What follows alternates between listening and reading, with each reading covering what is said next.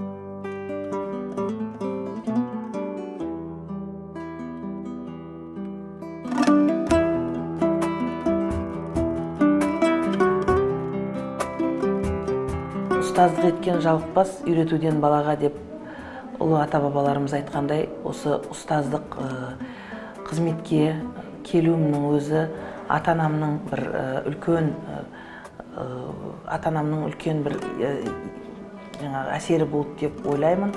Себебі мен ұстаздар отбасынан шыққанмын. Қарапайым ұстаздар отбасынан.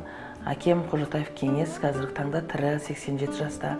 Анам омарбекова жұпаркүл 82 жаста қазір тірі яғни ұстаздар отбасында тәрбиеленіп жалпы бізді осы ұстаздыққа ұстаздық жолына түсуге әке шешеміздің үлкен ықпалы болды.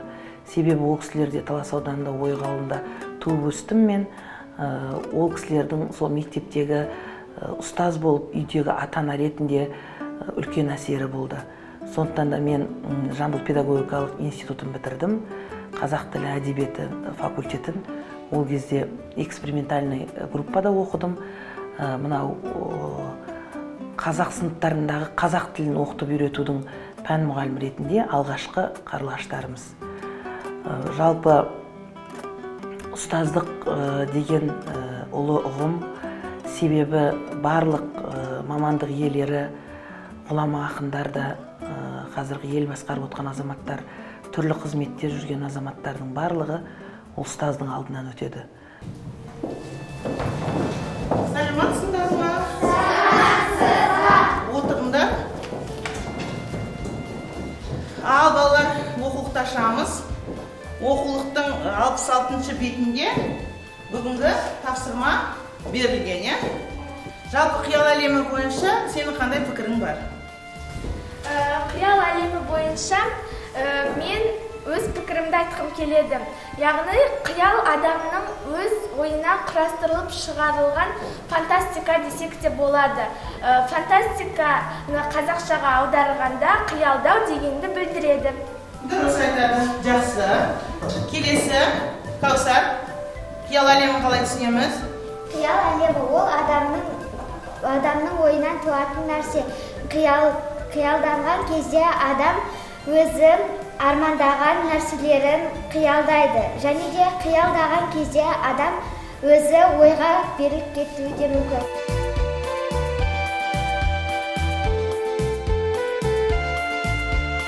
Шоқан уәлиханов атындағы орта мектептен қаратау қаласындағы жас ұстаз ретінде сол жерден бастадым. Одан кейін түрлі қызметтерді атқардық. Э, жастайымыздан э, басшылық қызметке ендік. Сол талас ауданында түрлі қызметтердің э, басында басшылық жасап жұмыс жасадық.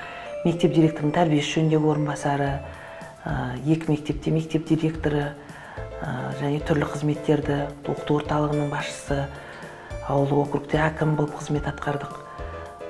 Кейінгі жылдары төрт жарым жылдай талас ауданының білім саласын басқардым. Енді міне осы бос конкурстық орынға түсіп 32 мектептің директорлігіне келгеніме қазір екі айдың жүзі болды. Э, бұл мектеп басқарудың өзі ата анамен жұмыс жасау өздеріңіз көріп отырған мынау осы open space кабинетін жасап осы жерге бірінші қабатқа көшудің өзі ата аналар мен оқушыларға келген қолжетімділік болу мақсатында болды.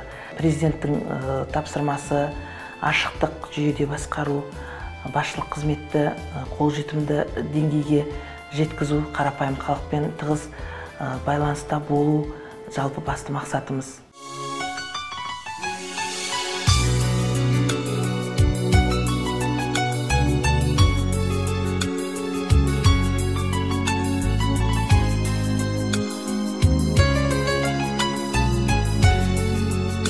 Біздің қазақстан тарас телеарнасының ғибрат бағдарламасының үнемі қарап отырамын.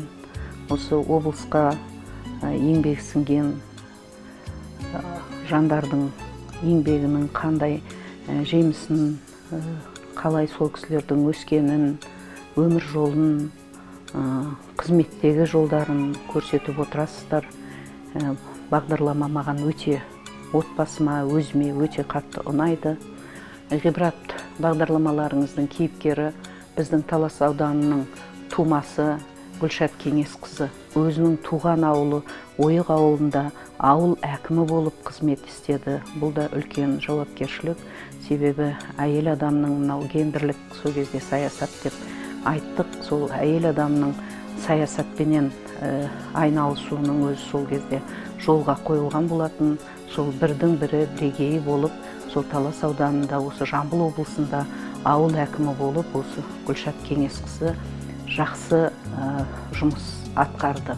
Ары қарай өзінің еңбек жолын білім бөлімінің басшысы ретінде жалғастырып міне 2020 жылға дейін білім бөлімінің басшысы болып өте жақсы жұмыс жасады деп мен айта аламын. Себебі білім бөлімі деген ол өте ауқымды жұмыс ол бүкіл сол ауданның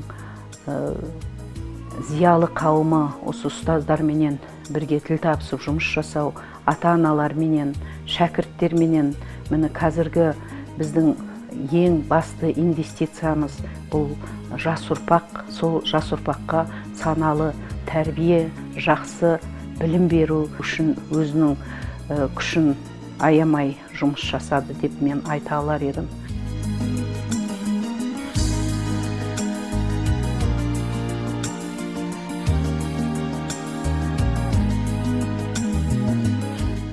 Жақсы іс жан азығы деп дана халқымыз айтпақшы. Таяуда ғана киелі білім ордамыз мектебімізге жаңа басшымыз келді.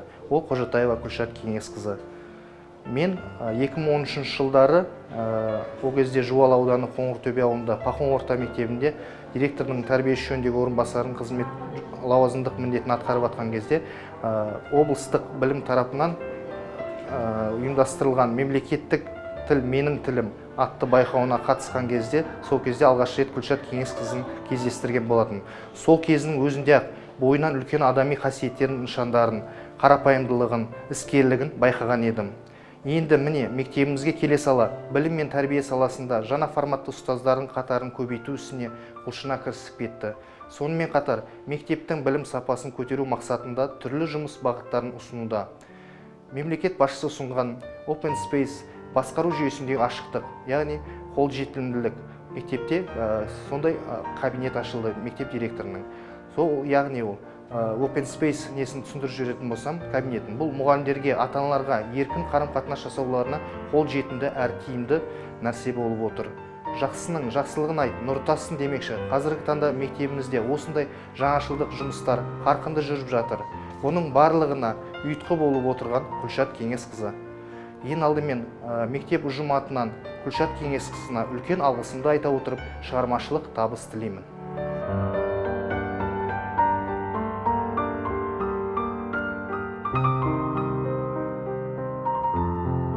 Жалпы білім саласы елге қызмет ету елдің баласын оқытып оларға саналы тәрбие бере отырып сапалы білім беру бұл еш уақытта мен назарымнан қалған емес. Талас ауданында білім саласын басқарған уақытта маған қарасты 35 мектеп болды. Балабақшалар мен мектептен тыс мекемелерді санат қалмаған уақытта қажырлы еңбектің арқасында былтырғы оқу жылында балаларды бірыңғай ұлттық тесттен нәтижелі сапа көрсету мақсатында өте үлкен еңбектер жасадық. Соның нәтижесінде талас ауданы былтыр жетпіс бесте бес пайыз көрсеткіш көрсетті балдық жүйемен. Ол облыстағы мектептермен салыстырған уақытта төртінші орынды иеленді.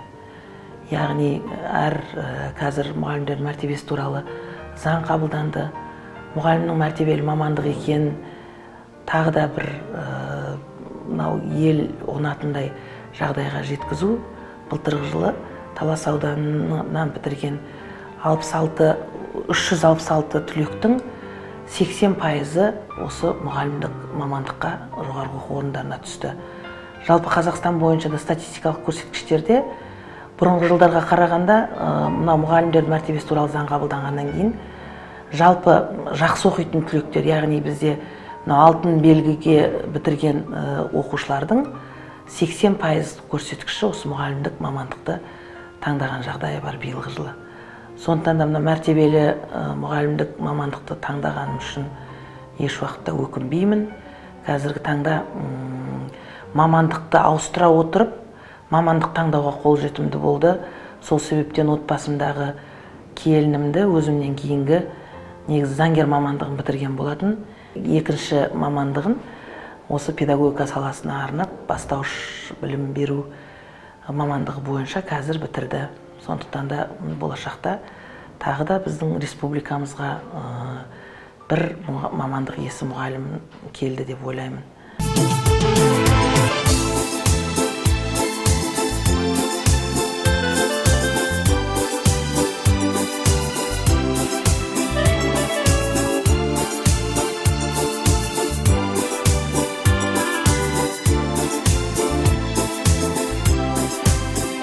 Біз гүлшат екеуміз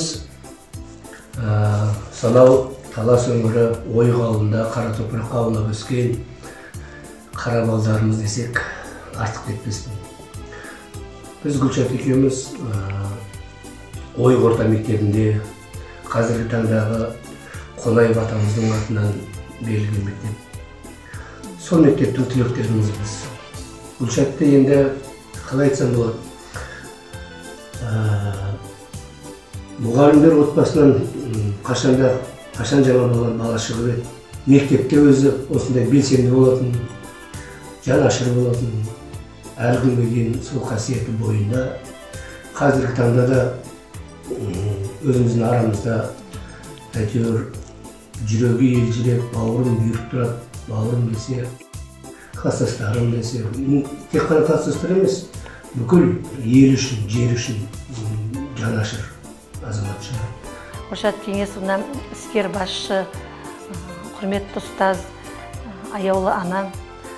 Ол кісі енді елдің қамын ойлап осы ұстаздар мәртебесі дейді келгелі мектепте ұстаздар бөлмесін ашты.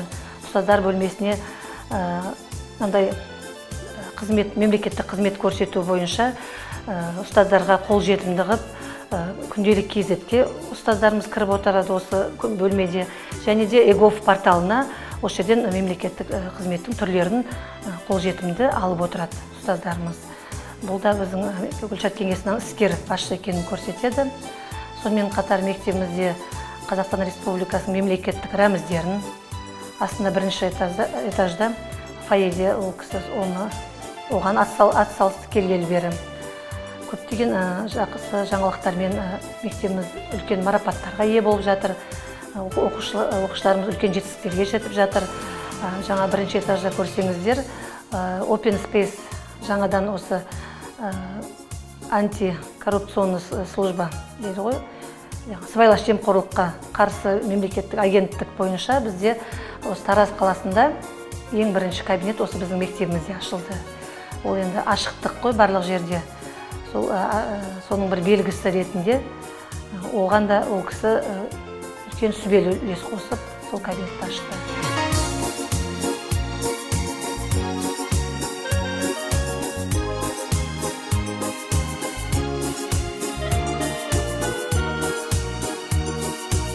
Жақсы адамды мақтасаң сақтанады жаман адамды мақтасаң шаттанады дейді. Бұл да мәселе мынау жаңада айтып жатырмын ғой жақсылығын айт деп.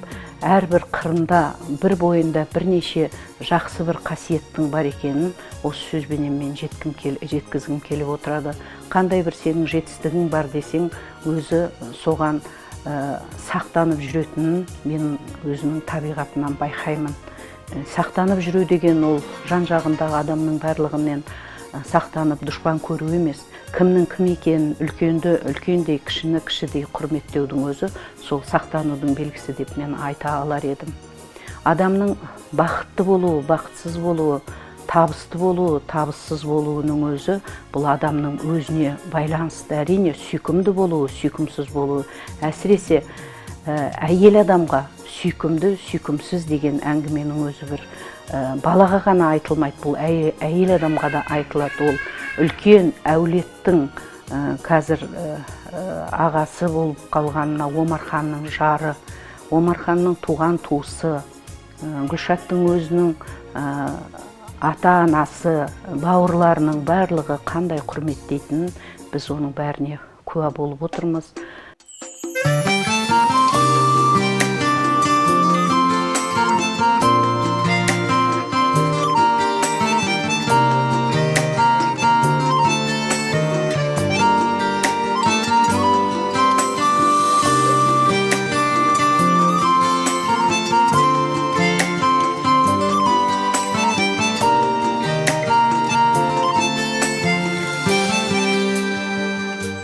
Адам өмірге келгеннен кейін жалпы жақсы өмір сүруге талпынатын ол елдің бәріне қақ алайда осы мен туу осы талас ауданындағы бір кішкентай ғана ауылдан шығып мойық ауылында туып өстім.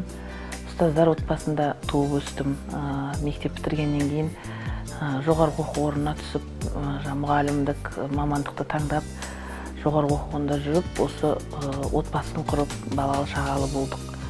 Отбасымен бірге бала шағамен бірге қызметті алып жүру жалпы маған оңай болған жоқ. Бірақ дегенмен де қолдау көрсеткен азаматтар айналамда отбасым балаларым күйеуім ата анамның үлкен үлестері болды. Мен жастайымнан қызметке араласып қоғамға қызмет еттім деп айта аламын себебі мектеп директорлығынан бастап түрлі қызметтерде болдым. Талас ауданында екі мектептің директоры болдым. Ойға ауылындағы әлменұлы атындағы орта мектептің қаратау қаласындағы мұхтар әуезов атындағы орта мектептің директорлық қызметтерін атқардым.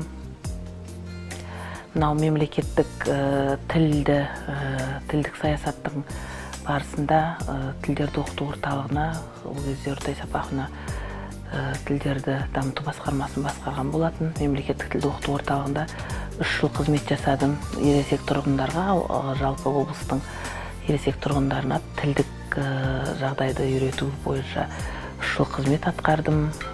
Ол бір жыл ауылдық округте әкім болып жұмыс жасадым.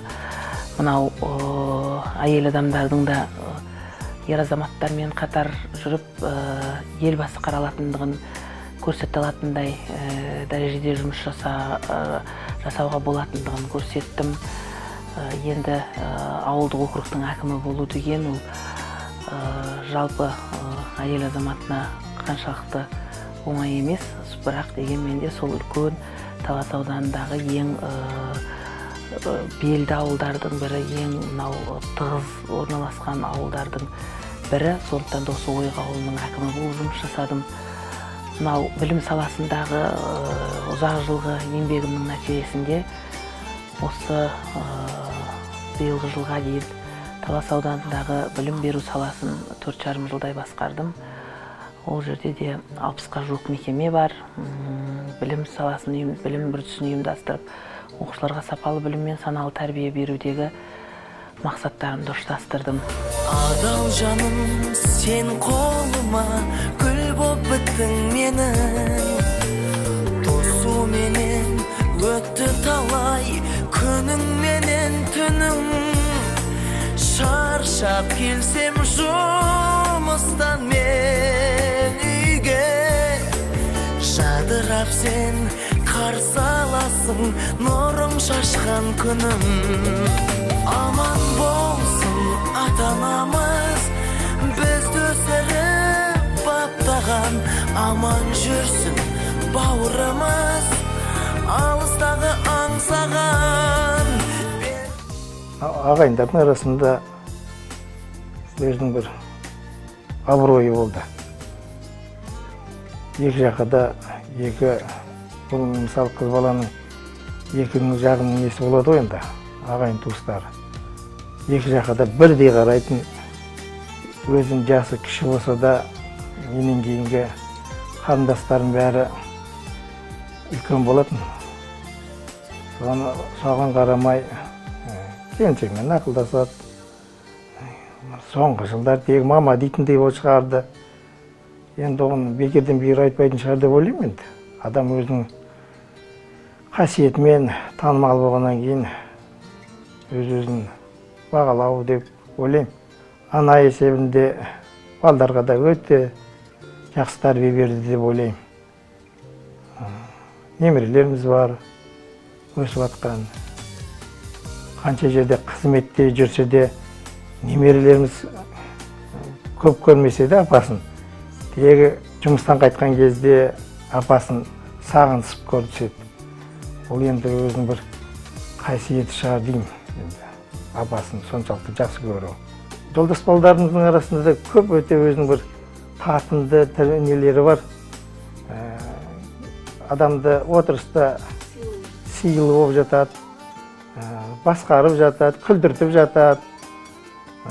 Соған жолдас балдарымыз айтады да жаңағы ей сен әуелі күндіз түні көңілді жүретін шығарсың күршаттың қасында деп не қылады да енді күндіз түні болмаса да әйтеуір азанда тұрған кезде күліп тұрып шайыңды берсе жұмысқа шығарып салса әрине ол күн жақ адамның өзінің бір настроениесі көтеріліп көңіл күйі жақсы болып жүргеннен кейін бәрі ойдағыдай болады ғой деп ойлаймын өзім.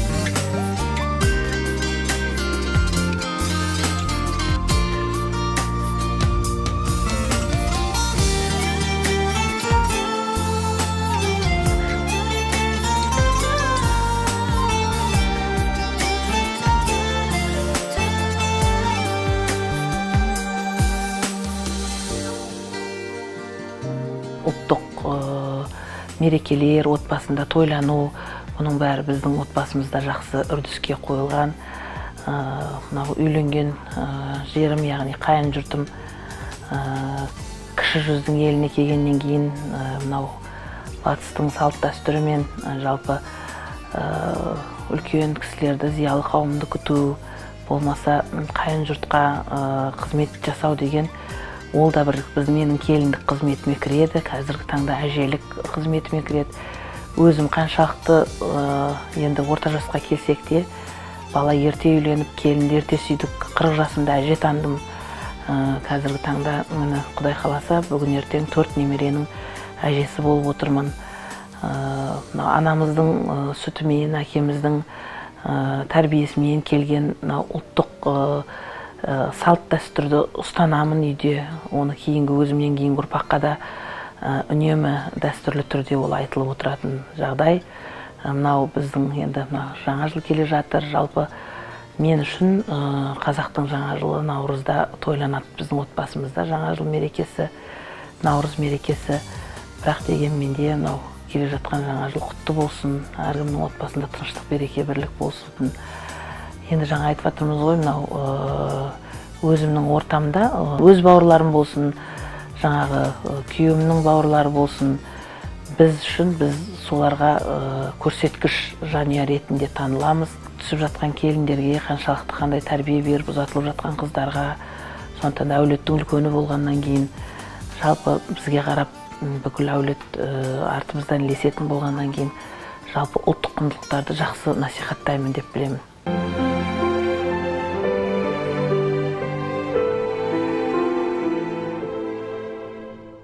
Түрлі басшылық қызметте жүріп жалпы қызметте жүрген уақытта адамның бір айналысатын өзінің бір сүйікті өзіне ұнайтын әртүрлі жағдайда айналысу мүмкін. Мен енді жұмыстан бір бос кезде өзім өлең жазып ойымдағы пікірімді ойымды бір қағазға түсіріп қоятыным бар. Кейде бір жалғыз қалғанда болмаса бір беймезгіл уақытта енді сұмдық ақынмын деп айта алмаймын. Бірақ дегенмен де енді өзімнің жаным сүйіп атқаратын бір жұмысым сол. Туған жерім мен туған жер әркімге де ыстық. Мен талас өңірінің өзім талас өңірінен шықтым. Талас өңірінде түрлі қызметтер атқардым. Сондықтан туған жерім қасиетті таласым тау мен тастан қаланған сен қаласың қаратауым қасиетті қайратты қалалардың ішіндегі дарасың. Албыртып келген кезде жас жүрегім тілеуімді анамдай сен тіледің ұстаз етіп қабылдап жолға салып ашып бердің балалықтың ара жігін. Білім кеме айлағында біз жүрдік жас ұстаздың қатарына біз кірдік. Ұлағатты ағалардан тәлім ап апайлардан сын ескертпе алып жүрдік.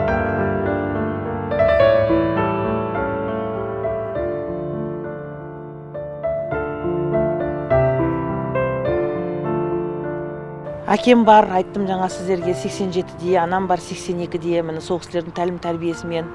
Айттық қой жаңа ана мен әкенің қалауымен болады деп. Ә, әкеме анама осыдан бір бірнеше жыл бұрын арнаған өлеңім екен енді ескілеу болса да. Әкем анам өсірдің баптап мені өмір бердің бойыма саулық дені. Мәпелеп тәрбиелеп ұшырып сап күтіп алды біздерді өмір кені. Өмір шіркін соқтықпалы соқпалы. Сан тарауы оның кейде қақпалы. Ұрындырмай аязына солардың. Шын тілеуі ата ананың сақтады. Әкем менің жетпістің дәл бесін алды. Тәрбиелі біздерге жолды салды кейбір айтқан өсиет сөздеріне жағымды құлағымда құрышқанды. Анам менің жетпістің дәл өзінде. Жан жетпейді анамның әр ісіне қамқор болып жүреді әр балаға ақыл айтып құяды әр санаға. Ұзақ болсын ғұмырларың қос тіреуім орындалсын арман ойлы тілеуің. Бейнет көріп өсірдің баптап бізді. Сыйлау парыз қашанда біздерсізді